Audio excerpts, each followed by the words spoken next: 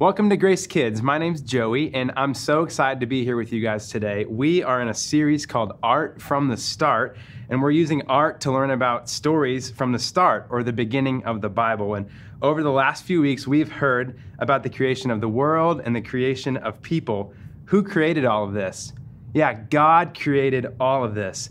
He's an amazing artist, the creator of everything. And just like an artist creates a masterpiece from a blank canvas, God created the whole world from nothing. He's so amazing. The Bible says it like this in Genesis 1 1, it says, In the beginning, God created the heavens and the earth. It was really art from the start. Speaking of art, I want to show you this piece of this piece of art that I did. It's awesome. I worked so hard on it and I hope that you like it. I'm still learning, but this is the best thing that I've done yet. And in fact, I'm really proud of it. It took me several hours to do. I even took a class on Zoom to do it. So here, check it out. Here, check it out. oh my gosh, guys, somebody ruined my art. They, they ruined it. D do you think I can fix this? It took me all that time. I guess I'll just have to do it again. I'll have to do it again.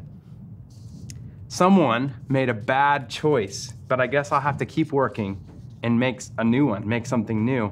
And that reminds me, this reminds me of our lesson for today. We all make bad choices sometimes, don't we? And what usually happens when we make a bad choice? That's right, we get into trouble. There are consequences for our bad choices. And that reminds me of a story from the Bible. It comes from the first book of the Bible where all of our stories in this series are coming from, and that book is called Genesis. Can you say that with me? Genesis. We know that God created a perfect world and everything was beautiful, and Adam and Eve were living happily in the Garden of Eden. They got to walk and talk with God, and it was wonderful. But then something happened that messed everything up. So let's take a look at what happened next. Stories of the Bible Adam and Eve sin. This is Adam. Hey. And this is Eve. Hi. Who were the first people on earth. They lived in the Garden of Eden, which was a beautiful place that had everything they needed. Adam and Eve took care of the animals and could eat from any of the trees in the garden, except for one. This was the tree of the knowledge of good and evil, and God told them not to eat from this tree. There were lots of animals in the garden, but the serpent was the most clever of all the wild animals God had made. Hmm. One day, he asked the woman, Hey, Eve. Did God really say you must not eat the fruit from any of these trees in the garden? Eve said that they were able to eat from all of the fruit trees except the fruit from the tree in the middle of the garden. For God said, You must not eat or even touch it.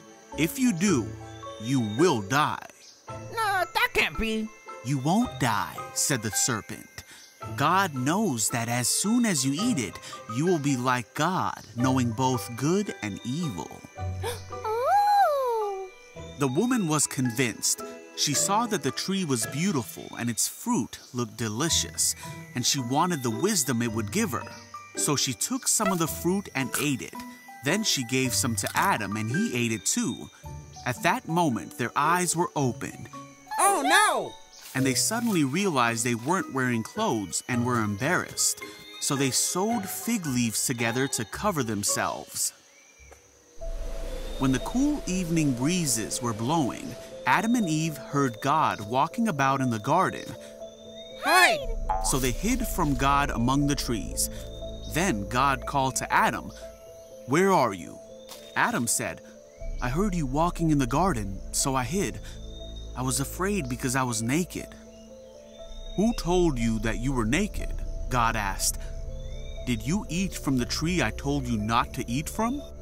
Adam said, It was the woman you gave me who gave me the fruit, and I ate it. Then God asked Eve, What have you done? The serpent tricked me, she replied. That's why I ate it.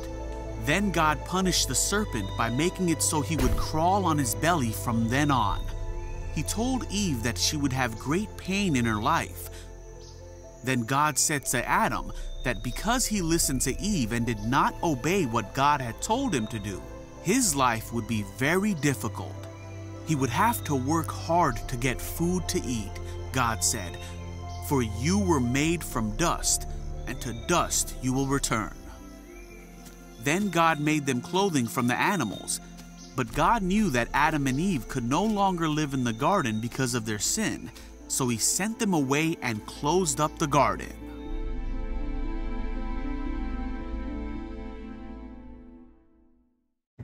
I loved seeing Adam and Eve's story, didn't you? They taught us a few things. First, we heard about sin.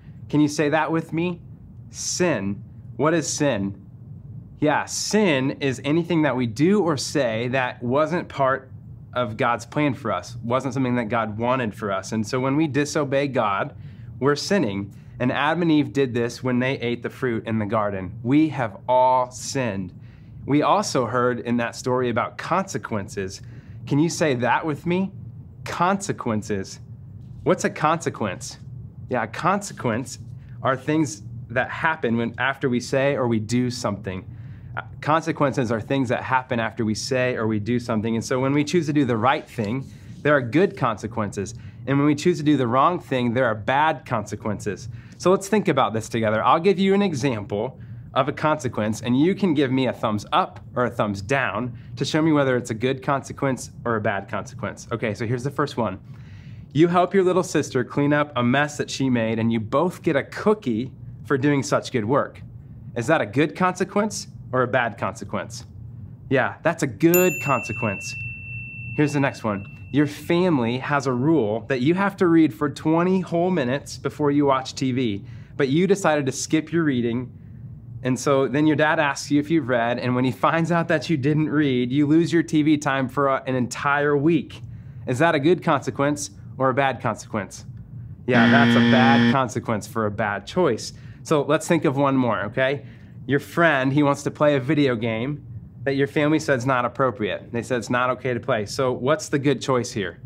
Yeah, the good choice is not to play that game. And so what's the good consequence that could come from that good choice?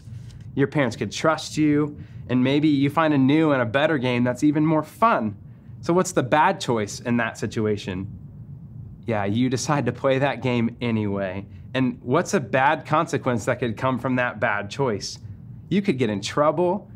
You could have no more video game time for a while. And so all of our actions have consequences, and some are big consequences and some are little consequences. Some can be good, some can be bad. And in Adam and Eve's case, the consequences were huge. When they chose to disobey God, they separated themselves from Him. And just like Adam and Eve, we all sin. We all make the wrong choice sometimes. And when we sin, it separates us from God. But that's not what God wants for us. Our big idea for today is everyone sins, but God has a plan. Say that with me. Everyone sins, but God has a plan. And his plan is Jesus. God sent his one and only Son, Jesus, to die on the cross for us to take our punishment, our consequence. God created us to have relationship with him, and we can all choose to do that. Our sin separates us from God, but Jesus made a way back. And that's really good news. Okay, let's pray before we go to thank God for all that we've learned today and for forgiving us when we make the wrong choices. Dear God, thank you that you love us no matter what we could ever do. Help us to make the right choices and to ask forgiveness when we make the wrong choices. Thank you that Jesus made a way back to you Remind us today that you love us deeply and that you always want to be with us and have a relationship with us. We love you so much. Amen. Guys, thanks for being with us today and for being great listeners. I hope you have an awesome week. See you later. Goodbye.